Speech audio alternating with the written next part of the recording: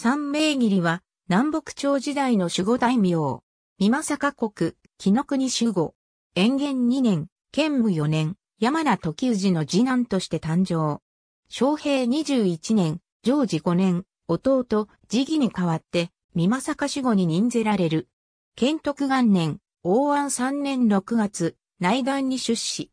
天寿4年、永和4年、キーで挙兵した南朝方の橋本忠徳討伐を命じられ、弟、氏清と出兵、キー守護を兼ねる。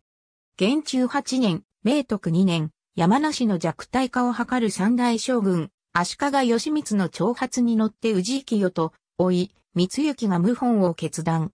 氏清は、義理の文国起員を訪ねて、同心を説得、義理は躊躇するが、氏清の熱弁に押されて同意する。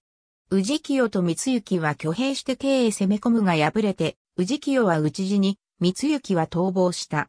義理は兵を発せずに、キーから動かなかった。乱後に、義理は義満に謝罪するが、義満は許さず、キーと美政を没収して、大内義弘と赤松義則へ与えた。